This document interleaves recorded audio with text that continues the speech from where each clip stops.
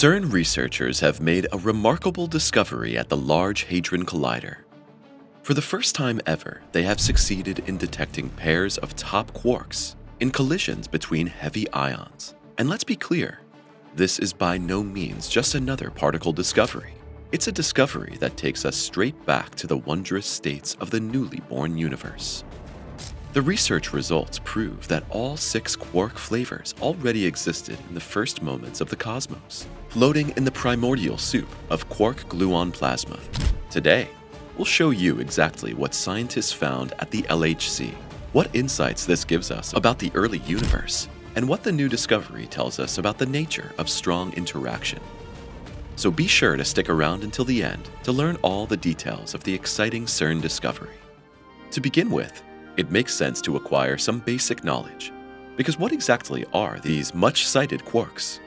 Well, basically, we're dealing with elementary particles that are nothing more than fundamental components of matter. Furthermore, quarks are the only elementary particles in the standard model of particle physics that are subject to all four fundamental interactions. Experts distinguish between six types of quarks, known as flavors, namely up, down, charm, strange, top, and bottom. Each quark flavor also has a corresponding antiquark, whose electric charge and other quantum numbers have opposite signs. Another special feature of quarks, however, is that they are never found in isolation, but only in bound form. This applies either to hadrons, or in other words, composite particles that include protons and neutrons and thus the components of atomic nuclei, or to quark gluon plasmas. This refers to a state of matter in which quarks and gluons behave quasi-freely, because extremely high temperatures and baryon densities actually lead to the lifting of confinement, or in other words, the locking in of these particles. And while gluons are indirectly responsible for the attraction of protons and neutrons in an atomic nucleus, and thus act as carriers of the strong interaction, experts assume that quarks and gluons moved freely for a few fractions of a second after the Big Bang, this quark gluon plasma thus formed the primordial soup from which all matter in the cosmos originated. And excitingly, with the help of the Large Hadron Collider at CERN, it's possible to skim a spoonful of this primordial soup and reconstruct the extreme conditions that prevailed immediately after the creation of the universe. If you like, you can imagine the world's largest and most powerful particle accelerator as a 27 kilometer long kitchen located about 100 meters below ground, where some of the rarest and hottest recipes in the cosmos are prepared. And while the LHC mainly collides protons, once a year heavy ions, such as lead nuclei, are also fired at each other to add another important ingredient to the primordial soup.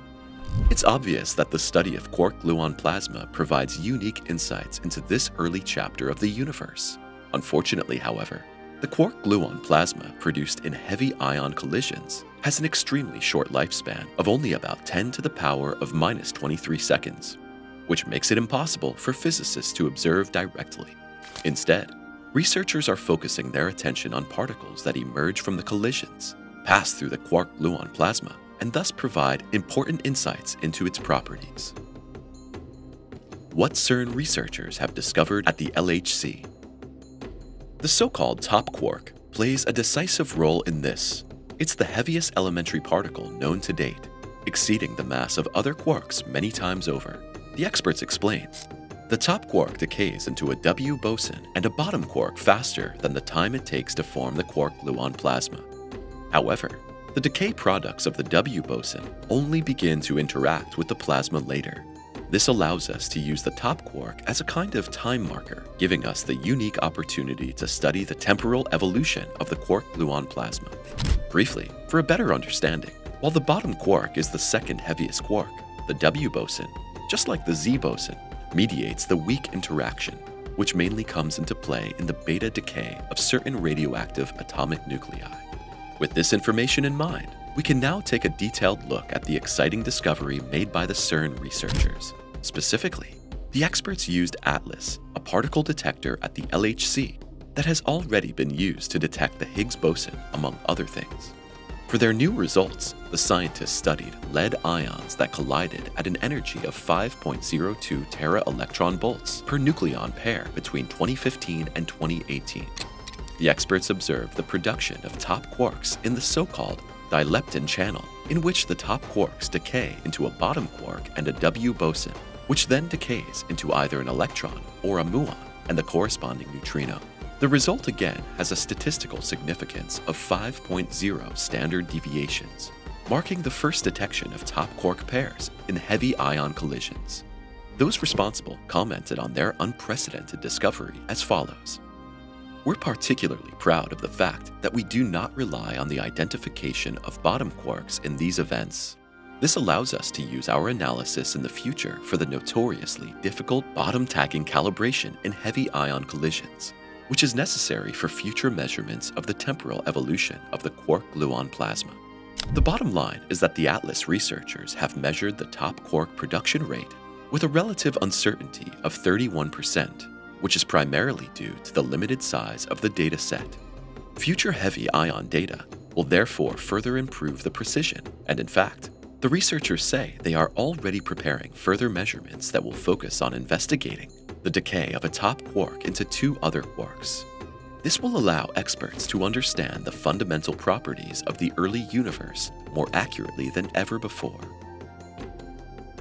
What the strongest magnetic field in the universe reveals about the primordial soup. To say that conditions in the newly born cosmos were extreme would be a gross understatement. Just 10 microseconds after the Big Bang, the entire universe consisted of a quark-gluon plasma, which is known for its extraordinary density and temperature. In fact, the particles here are so close together that the density can be up to 10 times higher than in an atomic nucleus, and at the same time, the temperature at over 2 trillion degrees Celsius is even higher than that inside stars. The combination of high density and temperature, in turn, causes the particles in the quark-gluon plasma to interact strongly with each other and move quickly. But that's not all. This wondrous state of matter also has remarkable viscosity. Although quark-gluon plasma consists of particles usually considered hard or rigid, it behaves like a liquid. Its particles can flow in a continuous stream, similar to water, and experiments have shown that this primordial plasma is even the most fluid liquid in the universe, with no internal friction whatsoever, allowing it to rotate faster than any other fluid. But how did the cosmos actually shake off this extraordinary state? Well, by hadronizing. In simple terms, this means that particles were produced from the primordial soup, although experts are still unable to say with certainty how this process took place in detail. What we can say, however, is that as a result, the cosmos gradually developed into the universe we know today. And in fact, a few months ago, physicists from the STAR collaboration succeeded in uncovering another thrilling mystery of the primordial soup. And all they had to do was create what is probably the strongest magnetic field in the universe. But first things first. For their experiment, the researchers used the relativistic heavy ion collider at Brookhaven National Laboratory in the United States to accelerate atomic nuclei of gold, ruthenium, and zirconium and collide them at energies of up to 200 giga-electron volts. This creates a quark-gluon plasma for about 100 quadrillionths of a second, but sometimes the heavy ions collide not exactly head-on, but slightly offset to the side, this causes the resulting particle cloud and plasma to spin, causing quarks, gluons, and positively charged protons that have not yet decayed to rush past each other. On paper, this should also create a strong magnetic field, but in practice, we did not know for a long time exactly how strong this magnetic field is and how it affects the quark-gluon plasma. Well, until now. STAR researchers have discovered that the collisions actually generate a magnetic field with a field strength of 10 to the power of 18, or 1 trillion Gauss. And that is nothing less than probably the strongest magnetic field in the entire universe. To put this into perspective, the Earth's magnetic field has a strength of about 0.5 Gauss, while a refrigerator magnet has a strength of around 100 Gauss. But even neutron stars, which are among the strongest magnets in the cosmos, have a magnetic field that is around a thousand times weaker than the one created by the researchers in the particle accelerator. In terms of effects, the experts determined that the swirling cloud of free quarks and gluons reacts strongly to the magnetic field.